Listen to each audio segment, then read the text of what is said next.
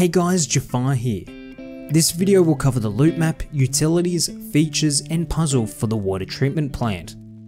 Let's have a look at the loot crate spawns throughout the water treatment plant, with 6 crates found within the central puzzle building, 6 crates found within the 3 story metal shed with the garage doors, 5 crates found on the sewer silo, 2 crates on top of the large tower, 2 crates found underground, and other crates being found on top of or within the treatment discs.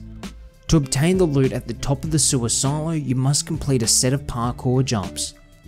Be careful of the part of the jump which contains a piece of metal sticking out the side of the silo.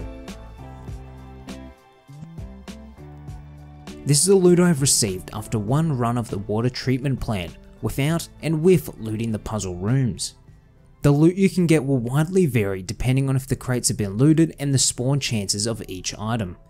In total, 25 basic or military crates can be found within the water treatment plant, with the additional medical and food crates not counting.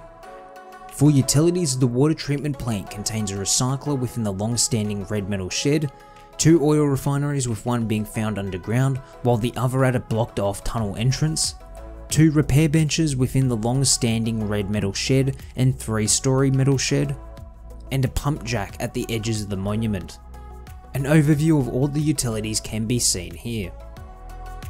The water treatment plant contains a mild amount of radiation in key areas such as the sewers, large water tower, rubbish piles on the ground and office room within the puzzle building.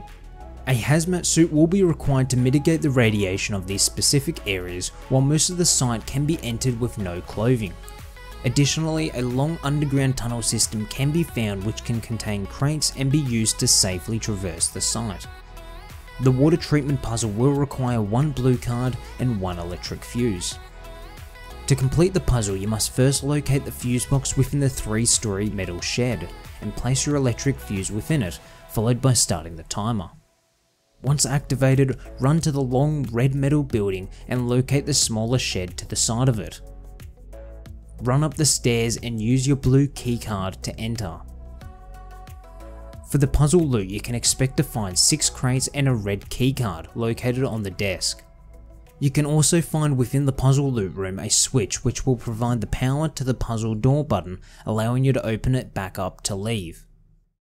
A minicopter can also be used to bypass the keycard puzzle and it can be achieved with only one person. You should first know that there is an invisible wall on the puzzle roof to stop people from easily landing up there and walking straight down onto the balcony, but it can still be done. Begin by flying over the balcony in such a way that allows you to get up on it while letting your minicopter fall back down. Make sure it has enough health before attempting this to avoid it blowing up.